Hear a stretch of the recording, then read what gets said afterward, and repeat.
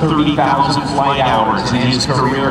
Watch him as he takes this 1943 vintage stock Stearman biplane as he takes off and rolls it over right on takeoff and brings it all the way around. Now keep your eyes on the airplane. He's not done yet because he's going to put it into a high-speed stall. Snap roll right over the top of the balloon. It's got U.S. Army markings as the PT-17 primary Springer 17 with a 220 horsepower Continental engine on it. With over 30 years, John has been flying this airplane and others, and he is the best Stearman pilot anywhere in the world. As he does a quick hammerhead turnaround and sets up for his first maneuver.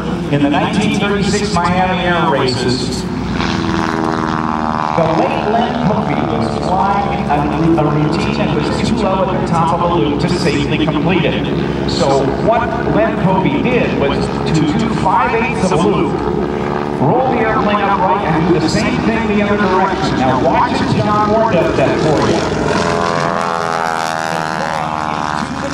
Go over the top. Instead of making it a full loop, watch him as he comes over the top. He's going to throw the stick over to one side, roll the aircraft into the upright. And that's one half of what is known as the Cuban 8 maneuver. Invented quite by accident by Len Povey. After Len Povey did the first half of that 5 8 of the loop and a half a roll, he did the same thing in the opposite direction, inscribing in the side an 8, figure 8 later on the side. There's the Cuban 8. When Len Povey was finished, they asked him what the maneuver was. Since he was training the Cuban Air Force pilots how to fly, he said Ocho Cubano, Cuban 8, and the name stuck. There's the Barnstormer scene. John Mohr, a third generation air show and uh, air show pilot. His grandfather was a barnstormer after World War I. His dad flew. John has been flying since he was 17. As a matter of fact, by the time he was 17, he'd actually designed and built his own helicopter.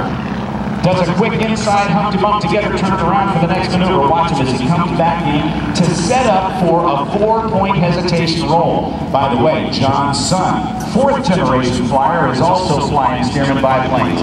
Now watch as the aircraft goes into the inverted position.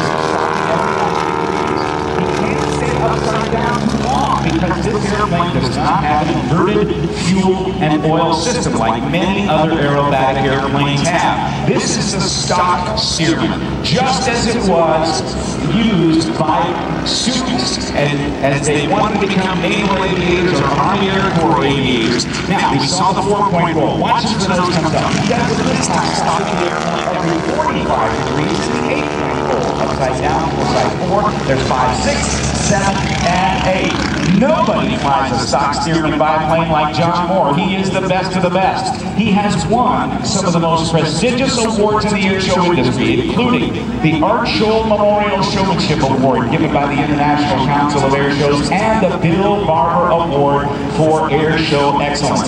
Now watch the super slow roll, and I'm going to be really quiet as he comes across the line because I want you to listen to the engines. It's going to sputter a little bit.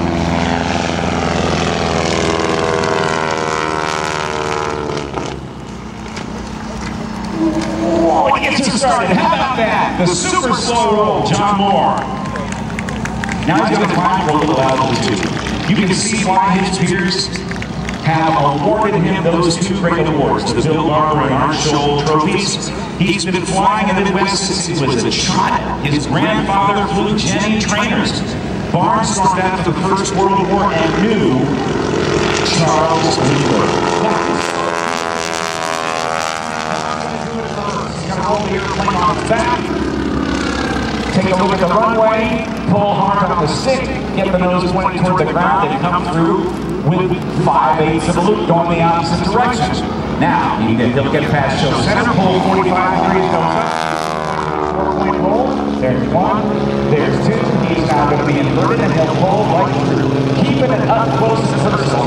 This is a very, very difficult airplane to fly. Weighing nearly its engine only develops about 220 horsepower. Now, it goes into a square loop, across the top, pushing hard. Can't stay inverted too long now. He'll pull hard on the stick to get it going straight down for side three of the loop. There's side three. He's at 300 feet, 200 feet, 100 feet, and now. Let's give it up for John Mohr. Now, he's done the Cuban 8. the reverse Cuban eight. He's done a Barnstorms loop. He's done a square loop. He's going to get her turned around and he's going to set up for an eight-sided loop. Remember, very, very underpowered compared to most other aerobatic airplanes. So it's John Mohr's going to get her done for you. He'll come across He'll go straight up, watch for the quarter roll now. He'll do a beautiful hammerhead stall turn, zero airspeed, kicks hard on the left rudder pedal, turns on the nine, and gives you nine cents change. Now, does the roll out. He's got some energy. He'll take, it back to the left-hand side, do a reversal and get the energy he needs, not to do a, round loop or a square loop, he's going to set up for an eight-sided loop. He does his entire performance less than 700 feet above the ground. This is the classic box Barnstormer, and one, two, three, the top, the stick to. Now pushes it out 45 degrees, from side five, six, seven, and right over the deck there. There's side eight. That's the eight-sided loop. Now John's going to climb for some altitude he does a little rollout as he uh, takes it back around to the left. He's going to get uh, get the engine to cool down a bit, and he's going to get some altitude so he can turn that into speed and energy he needs for his next set of even more thrilling maneuvers. Again, no inverted oil or fuel system, so the engine will shut off if he's upside down too long. He's going to look to get the altitude to do a tumbling maneuver.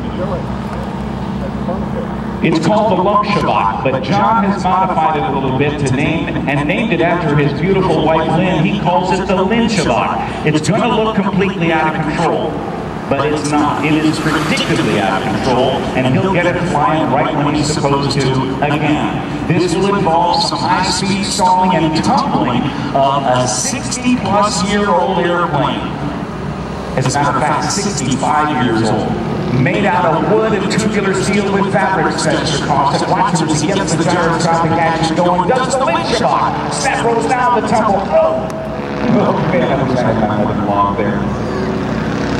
Now, aiming down toward the ground once again. Watch for the quarter roll, and he's going to back off the power. He's going to back it up. This is going to stop. Now, he falls out. Watch it turn into a spin. One and a half turn spin. Wow, what an incredible pilot this guy is. Let's give it up for John Mohr. does a, does a quick climb roll. Now he's going to gain some more altitude, and he's going to demonstrate what happens when an airplane stalls. Only John is going to keep it right at the edge of the stall. He's going to be flying, stalling, flying, stalling. This is called the falling leap. Power comes off. Time. Look at this. 300 feet over the ground. Back and forth. Every time it wants to stall, he gets the nose down and he makes fly and then stall. Look at that. Unbelievable. He's now 200 feet. He's going to come down to 100 feet. There's, there's 100. 75, 50, 40, 30, 20, and brings it right out with the power, puts a wheel right down in the grass. How about that? Unbelievable. I love the way this guy works. Now he's going to set up for the inverted pass. You're going to get a chance to see what happens when this engine really starts to cough and sputter. He'll bring it around, roll it on its back. You'll hear the engine sputter and look for the flaming restart when that engine gets the gas back in, right on the deck. He brings it in at just over 100 miles per hour. The nose comes up its back now. Let's watch this. He's waiting. Get it going, John! There you go, the flaming restart at the inverted pass. Now here's something that the primary trainers were just not meant to do. You've seen the AV-8B Harrier, perhaps that vertical takeoff and landing aircraft that the Marine Corps flies. Well, John's going to do a modification of that, slowing the airplane down to about 40 miles an hour, cross-controlling it. Now watch him as he comes by. This is called the Harrier Pass. Look how low he drags this airplane to the ground. Within 10 feet, 9, 8, 7, 6, 5 feet, until he low, lower, flying the wing down so low to the ground, almost touching the wing. Do you see why they call him the best of the best? I want to hear it all the way up and down the line for John Mohr from Minnesota. great stuff. He, just, he must have heard something because he just wiggled his rudder back and forth. He must have been acknowledging your applause. Now he's going to bring it around the lane, but I want you to watch this approach.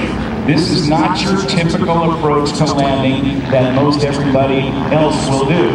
John is now flying at the downwind. He's going to set up for landing on runway 7 right here in the airfield to the northeast. He's now flying downwind. He'll turn base and then turn final. The base leg 90 degrees to the landing runway direction, and then he will land. And I want you to keep your eyes on how he does it. There's the base leg. He's got some altitude. John, oh wait a minute. Now he's he can't land it like that but he can see the runway because all he has to do is tilt his head back. Now, as he gets down, he's not finished yet. Snap rolls the airplane just before touchdown. Watch him cross control it now with wing down the opposite rudder and aileron. Puts it down ever so gently on the ground, one wheel at a time. That's the guy. There's nobody who flies the stock Stearman like John Mohr. Open cockpit all the way. Does a beautiful one wheel at a time landing and puts it down. Let's hear it for John Mohr.